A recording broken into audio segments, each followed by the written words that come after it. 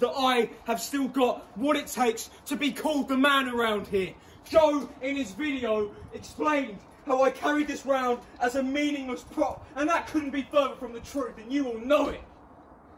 This championship meant just as much to me as it did the IC championship.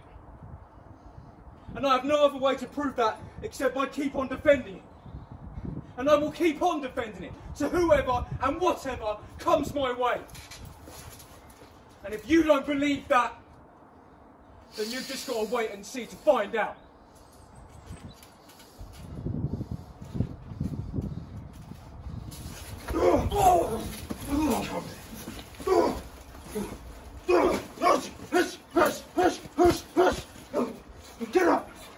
Get up! You piece of crap!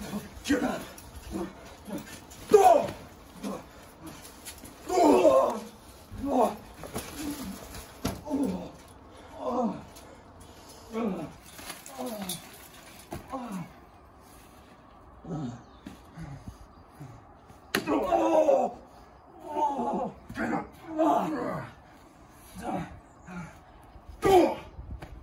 Come here. I can't believe you snaked me like that. After everything I've done for you, I accepted your apology. And you spit in my face. You kicked me in the balls. Get up.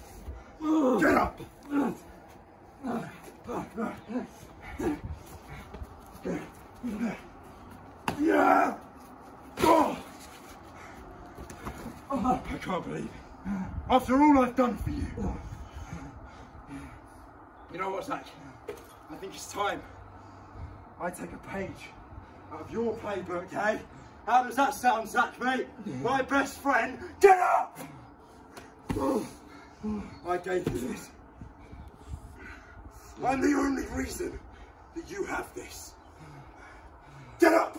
Get up, you piece of shit! Get up! Get up!